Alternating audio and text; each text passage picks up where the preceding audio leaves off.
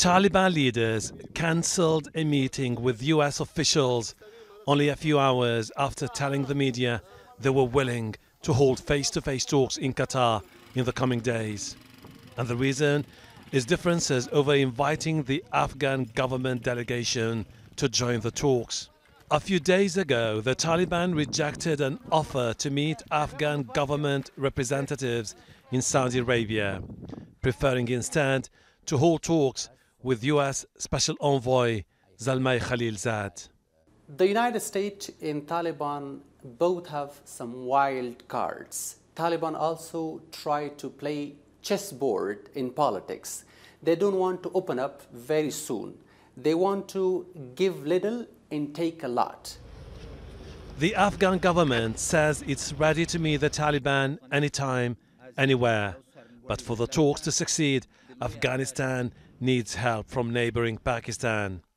The US has repeatedly accused Islamabad of providing safe haven for Taliban leaders. Accusations dismissed by the Pakistani government. Pakistan, being the immediate neighbor of Afghanistan, is interested that any development in Afghanistan leads to peace and stability of the region. Currently, efforts are underway towards a political settlement in Afghanistan. Hence, the withdrawal of US troops should be part of a peace process with a view to ensure that there is no power vacuum in Afghanistan.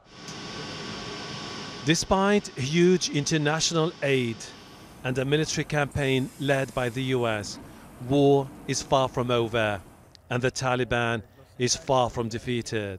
Reports the Trump administration might be withdrawing troops in the coming months triggered panic among Afghan officials. But the US isn't the sole player in the region. The Russians invited the Taliban and members of the Kabul based Afghan Peace Council for talks last year. Saudi Arabia and the UAE took part in the last round of talks in December. Iran has also been active over the last few years, building bridges with the Taliban and the government.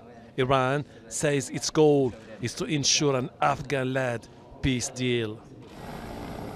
The talks gained momentum last year, but it's unclear if all the parties are willing to make concessions and agree on a unity government. Hashem Ahelbarra, Al Jazeera.